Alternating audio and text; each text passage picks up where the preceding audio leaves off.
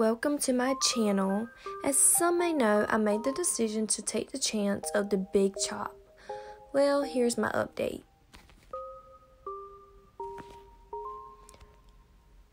On May 17th, I did the big chop to start my natural journey after chemically killing my hair for so many years.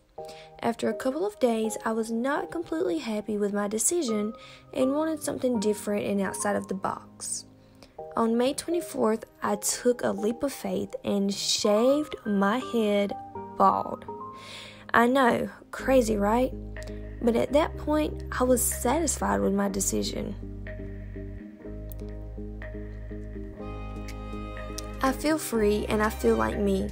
I am breaking down walls and barriers that I would have never did a couple of months ago. I am the happiest girl alive right now. I know this isn't your normal big hair chop. I know this isn't your normal big chop hair journey, but I hope you all stick around to see what's new for the next video. I am still on a hair journey, just a slightly different path than expected.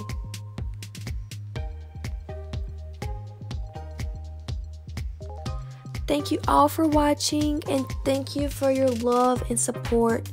I love you all. Goodbye.